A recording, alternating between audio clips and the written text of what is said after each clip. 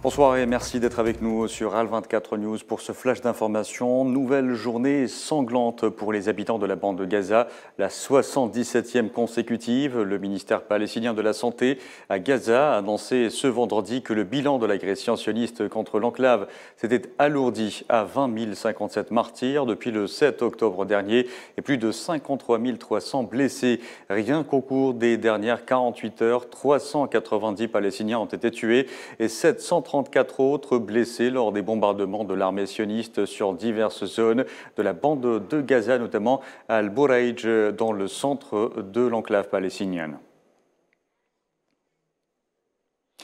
Et de violents bombardements et des frappes aériennes ont visé ce vendredi Jabalia et son camp de réfugiés dans le nord de Gaza au moment où des véhicules de l'armée de l'occupation tentaient d'avancer depuis le côté ouest de Jabalia au milieu de euh, bruit des tirs poussant de nombreux habitants à fuir.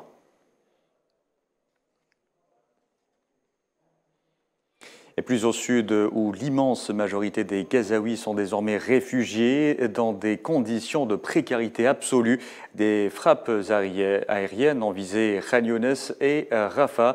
À la frontière avec l'Égypte, les blessés continuent d'affluer vers l'hôpital Nasser de Khan débordé par le nombre de patients admis. Et toujours euh, au sud, à Rafah, quatre personnes ont été tuées et au moins deux enfants blessés lors d'une attaque contre une voiture ce vendredi. Le sud de la bande de Gaza, où l'entité sioniste a sommé les Palestiniens de se rendre, euh, subit également d'intenses bombardements depuis euh, plusieurs jours.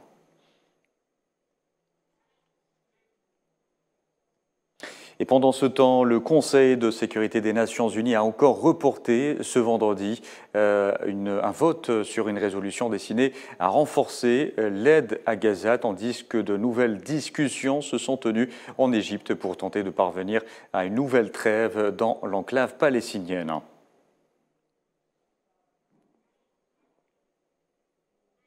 Et l'ensemble des 2,3 millions d'habitants de Gaza sont confrontés à des niveaux de faim critiques et le risque de famine augmente chaque jour. C'est l'alerte donnée par un organisme soutenu par l'ONU dans son euh, dernier rapport.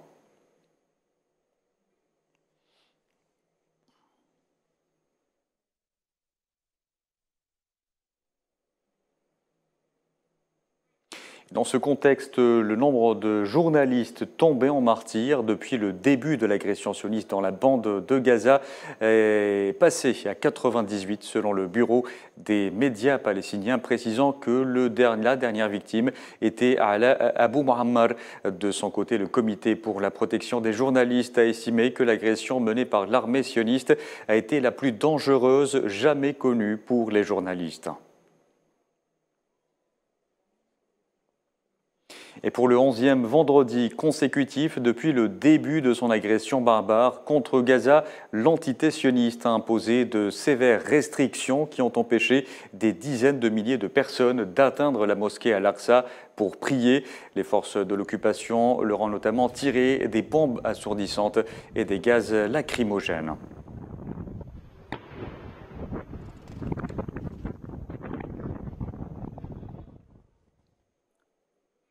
Et puis enfin, en Algérie, le Parlement a été convoqué en ces deux chambres réunies le 25 décembre, et ce par un décret présidentiel publié dans le dernier numéro du journal officiel. L'ordre du jour de la session extraordinaire comporte l'ouverture de la session et le discours du président algérien. La session du Parlement, objet de convocation, est clôturée après épuisement de l'ordre du jour précité.